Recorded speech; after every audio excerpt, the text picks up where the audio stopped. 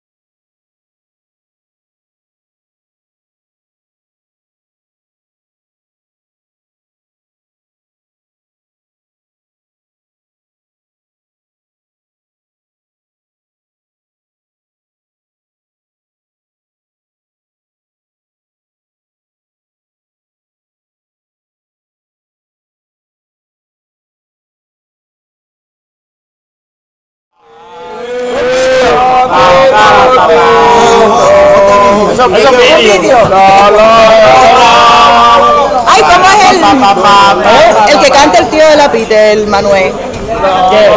Es que me han preguntado que me han dicho a ver si podía subir la canción, pero yo tampoco me la sé. ¿Se la sabe? La canción de Manuel.